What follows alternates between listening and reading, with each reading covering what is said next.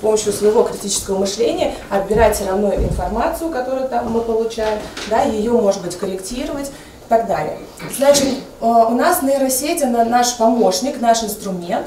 Во втором туре муниципального конкурса «Учители года» восемь преподавателей, победившие на предыдущих этапах конкурса, демонстрировали коллегам свои педагогические наработки. Среди них у одной из конкурсанток это рассказ о нейросетях, позволяющих быстро подбирать информацию и применять возможности искусственного интеллекта в учебном процессе а ее коллега рассказала о дидактическом материале, расширяющем у детей знания об окружающем мире, повышающем интерес к более сложным речевым конструкциям и развивающим орфографическую зоркость. Оценивали выступления учителей их коллеги, ранее добивавшиеся в этом конкурсе высоких результатов конкурсы профессионального мастерства, в частности данные конкурсы, а лучшие конкурсы непосредственно роста педагога, то есть а, лучшие курсы повышения квалификации.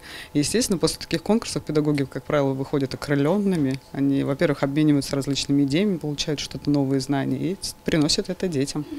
Ну и дети, безусловно, гордятся своими педагогами, которые принимают участие в таком замечательном конкурсе.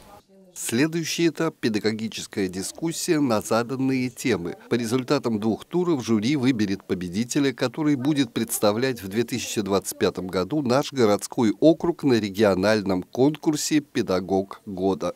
Андрей Цеханович, Игорь Поляков, Щелковское телевидение.